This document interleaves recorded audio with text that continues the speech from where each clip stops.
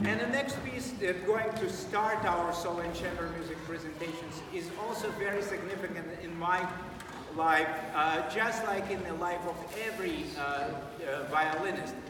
For a long, long time, uh, in my childhood, uh, at age around six or seven, for a long, long time, as long as maybe three days, uh, I thought that that was my most favorite in the whole world. Uh, and, and, and indeed, I find this composition really wonderful. And I, I carried love for it all my life.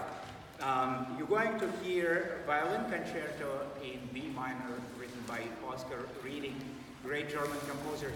And what really captures um, in this piece is the sincerity and the beauty of the melody and uh, sincere lyricism with which um, this work is written. I'm very excited to make announcement of our solo soloist with this piece, um, our wonderful and brilliant uh, young violinist, Ella Packer. Uh, please welcome.